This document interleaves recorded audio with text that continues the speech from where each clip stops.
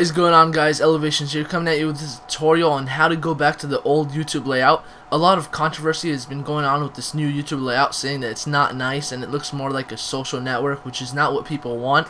So this is going to show you guys uh, how to get back to the old one. Basically all you need to do to get back to the old one is go down to your link youtube.com and add a slash home once you uh, complete that step you are back to the old YouTube layout and I mean everything looks fine. And I actually like the new sleek design which actually stays and it's just amazing. Also to get back to your uh, old channel page all you need to do is go to my channel and click edit channel.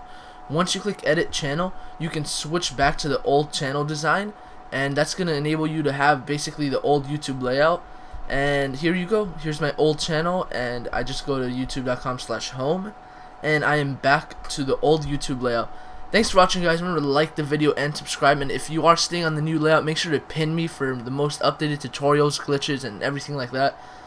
Thanks for watching guys, remember to like the video and subscribe for more. Peace out.